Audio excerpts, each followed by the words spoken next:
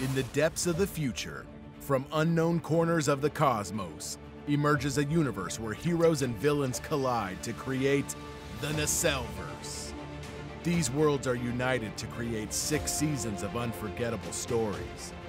Roboforce, Biker Mice from Mars, Sectaurs, Cowboys of Moo Mesa, The Great Garloo, and Power Lords.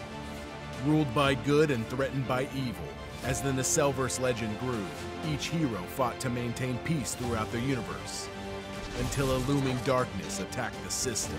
Rising together, these are the stories of a legion of heroes, their missions across the galaxy, and their battle against the forces of evil.